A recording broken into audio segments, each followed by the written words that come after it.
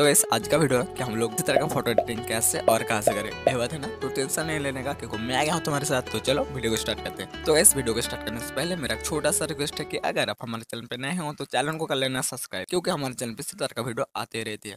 तो ऐसे तुमको इस तरह का फ़ोटो एडिटिंग करने के लिए तुमको सिंपल एक गोल पे आ जाना है, और गोल पे आने के बाद तुमको सिंपल यहाँ पर सर्च करना है बिंग जनरेटर तुम लोग जैसे बिंग जनरेटर सर्च करोगे, तुम्हारे सामने इस तरह का इंटरफेस तो हो जाएगा, और तुमको यहाँ पे फ़र्स्ट वाले लिंक पे आ जाना है।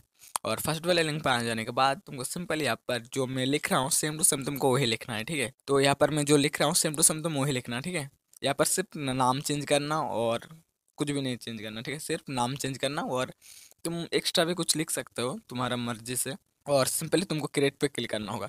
जैसे तुम लोग क्रिएट पे क्लिक करोगे ना, तुमको लॉगिंग करने को बोलेगा तो अगर तुम्हारा लॉगिंग नहीं है बिंग जनरेटर ठीक है तो तुम लोग इस वाले वीडियो को देख के आ सकते हो। मैंने इस वाले वीडियो पे बोला था कि कैसे लॉगिंग करते हैं, ठीक है, पूरा डिटेल्स था, कैसे लॉगिंग करते हैं यूज़ करते हैं, पूरा डिटेल्स है उस वीडियो में। तो जाके इस वीडियो को चेक करके आओ, ठीक है।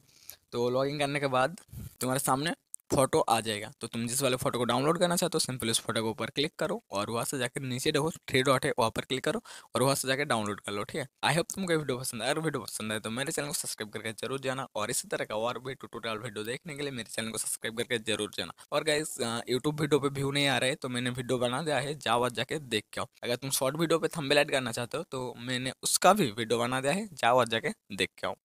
बहुत ही जल्द मिलेंगे नए वीडियो के साथ। तो अभी के लिए बाय बाय